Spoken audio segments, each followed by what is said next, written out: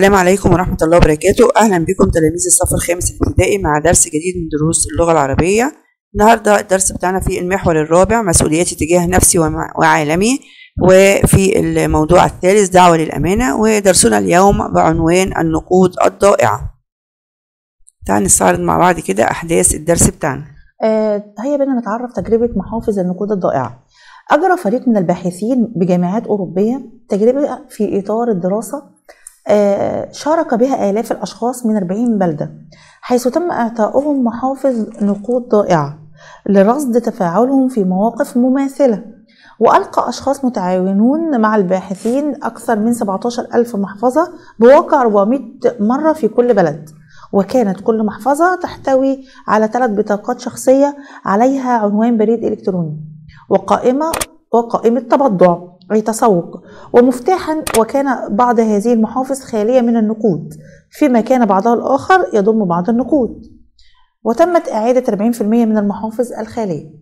جميل. يبقى بيقول يا أولاد هم دلوقتي عايزين يقيسوا مستوى آه، الأمانة والتمسك بها آه، في آه، بعض الدول. فقام باحثون أوروبيون بتجربة وطبعا شارك فيها آلاف من الأشخاص من بلاد مختلفة. آه، تم إعطائهم آه، محافظ آه، نقود ضائعة آه، ضاعت من أصحابها وألقوا 17 ألف محفظة آه، بواقع يعني بمعدل كل بلد آه، تم إلقاء 400 آه، محفظة بيها وكل آه، محفظة تحتوي على ثلاث بطاقات شخصية عليها عنوان بريد إلكتروني وقائمة تبضع ومفتاحا. آه، بحيث طبعا يوصلوا لأصحابها. وكانت بعض هذه المحافظ خالية من النقود. تعال نتعرف على بعض المفردات ونشوف كده آه، هيتصرفوا مع هذه المحافظ آه، كيف.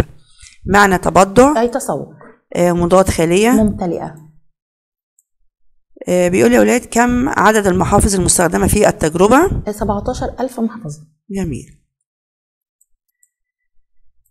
تعال نشوف يا أولاد بعد إلقاء هذه المحافظ آه، تم إعادة 40% من المحافظ الخالية من المال في مقابل واحد وخمسين في المية من المحافظ التي تحتوي أموالا. يعني هنا المحافظ الخالية من المال آه، تم إعادة 40% منها. أما آه، تحتوي على أموال تم إعادة 51% من هذه المحافظ وكده قدروا يكتشفوا تباينا بين الدول في مستويات الأمانة آه، معنى تباينا اختلافا. ومفرد المحافظ. المحفظة. آه، ما الذي كشفته تجربة محافظ النقود الضائعة؟ آه، تباين بين الدول في مستويات الأمانة. جميل. تعالوا نتعرف يا أولاد على مفهوم الأمانة. آه، الأمانة بتعني الحفاظ على ما يؤتمن عليه الشخص من ودائع. آه، طبعا الإنسان لابد إن هو آه، إذا ترك عندك شخص وديعة آه، مالا أوراقا أشياء مهمة فلابد إن أنت تحافظ عليها وتعيدها لصاحبها عند طلبها آه، بيقول لي أولاد صفة الأمانة مقابلها الخيانة يعني الشخص الأمين مقابله الشخص الخائن. وطبعا الأمانة لا تتمثل في الودائع فقط ولكن لابد أن تشمل الأمانة جميع جوانب الحياة. تعالى كده نشوف سؤال لحبايبنا المتفوقين. آه، ما مفهوم الأمانة؟ هننتظر إجاباتكم وت- آه، وتفاعلكم معنا في التعليقات؟ آه، بيقول يا أولاد زي ما قلنا الأمانة لابد أن تكون حاضرة بكل جانب في حياة الفرد. يعني الأمانة لابد أن يشتمل عليها لا تشتمل على الأموال فقط وإعادتها لأصحابها لأن طبعا الأمانة من أسمى الأخلاق الإنسانية. وزي ما قلنا إن هي آه، آه، رد الودائع لأصحابها والائتمان عليها وإن إحنا نؤديها على أكمل وجه بدون تقصير. وزي ما قلنا إن الشخص آه، لابد إن هو يحافظ على هذه الأشياء بشكل صحيح. وزي ما قلنا إن الأمانة لا تنحصر في شيء واحد ولكنها لابد أن تكون حاضرة في كل جانب من حياة الفرد. تعال نتعرف على جوانب آه، الأمانة حاضرة بكل جا- جانب في حياة الفرد فلها العديد من الجوانب منها الجانب المادي. ويتمثل في أداء الحقوق المادية إلى أصحابها كما هي دون نقصان. آه، أيضا الجانب المعنوي ويشمل القيم والمبادئ التي يلتزم بها الإنسان في حياته والتي تشمل أيضا رسالة التعليم والتزام منظومة القيم والأخلاق الرفيعة فهذه كلها أمانات مؤتمن عليها الإنسان. طب يبقى إحنا أولاد تعالى كده مع بعض تاني قلنا جوانب الأمانة. أول جانب مادي يعني شخص آه، ائتمنك على بعض النقود آه، أو آه، بعض ال- ال- المعادن النفيسة أو غيرها. ده جانب مادي حقوق مادية. فطبعا آه، تحافظ عليها كاملة دون نقصان وتردها لصاحبها عند طلبها. عندي الجانب المعنوي. وده شيء غير ملموس ولكنه قيم. إن إحنا تلتزم بالقيم والمبادئ التي آه، تعلمتها في حياتك آه، لا تلتزم بها أمام الناس فقط ولكن تلتزم بها في السر والعلن. فإذا لم يكن الأشخاص آه، تراك فإن الله سبحانه وتعالى يراك. فلابد أن تحافظ على القيم والمبادئ.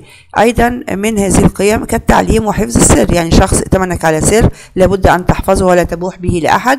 وأيضا أمانة التعليم إن أنت تعلم آه، الشخص آه، أو إذا كنت تعلم شخص فلا بد أن تكون أمينا في تعليمه وتعطيه المعلومة كاملة تعال نتعرف على الجانب الثالث. الجانب العلمي ومن الأمثلة أيضا على الأمانة أمانة العلم. فتعلم العلوم على الوجه المطلوب أمانة وأمانة التأليف والنشر بأن يلتزم الدقة العلمية في تأليفه ونشره من ناحية صحة المعلومات ودقتها. جميل. يبقى أنا عندي جانب علمي إن إحنا أمانة في العلم إن أنت آه، تعلم الشخص آه، تعليما كاملا. أيضا أنت وأنت بتذاكر إن أنت آه، يكون عندك أمانة في المذاكرة أمانة التأليف الشخص اللي بيؤلف الشخص اللي بينشر وخاصة في النشر إن إحنا لا ننشر شيء يكون غير صحيح حتى لو يؤدي إلى نشر الفوضى أو الخلافات والصراعات بين الناس والتزام الدقة في نشرها. وتكون طبعا معلوماتك صحيحة ومؤكدة. يبقى لو قال لي كده سؤال فيما تتمثل الأمانة في الجانب المادي لحياة الفرد قلنا في في أداء الحقوق المادية إلى أصحابها. جميل. عندي الجانب الرابع الجانب العلمي.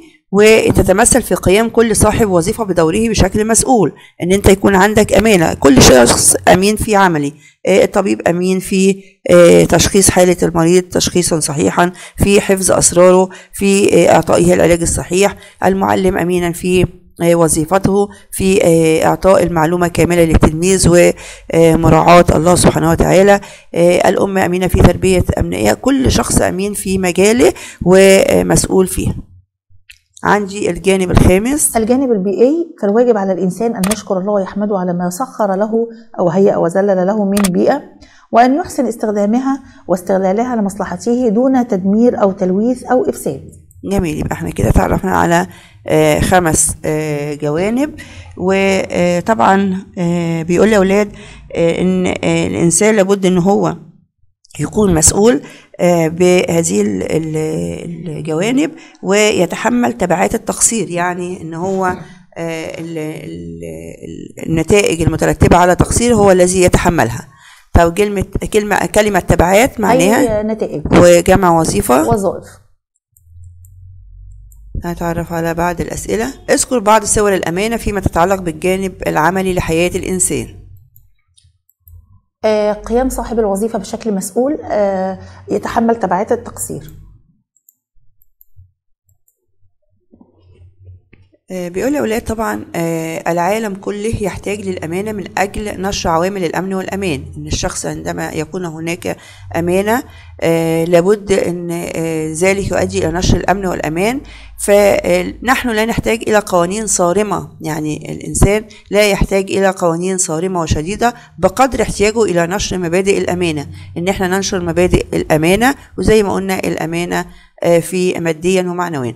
حتى نقضي على جوانب الضعف في المجتمع لأن الالتزام بالأمانة إن الإنسان إذا كان أمين آه، إذا كان إنسان أمين في عمله فسوف يؤدي إلى رفع آه، كفاءة الإنتاج وزيادتها ورفع الاقتصاد وغيرها. آه، الأمانة في المذاكرة فتصبح انسانا نافعا لنفسك ولوطنك فبذلك آه، نحتاج إلى الأمانة وللقضاء على جوانب الضعف في المجتمع. فهيا بنا نغرس ونزرع خلق الامانه في نفوسنا.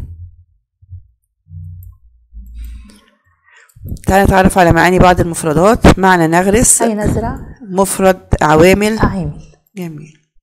وصلنا لسؤال حبايبنا المتفوقين. السؤال بيقول أجب اقترح فكرة لنشر مبادئ الأمانة في المدرسة. آه وبكده نكون أولاد آه وصلنا لنهاية درسنا. آه، وعلى وعد بلقاء آخر في درس جديد والسلام عليكم ورحمة الله وبركاته.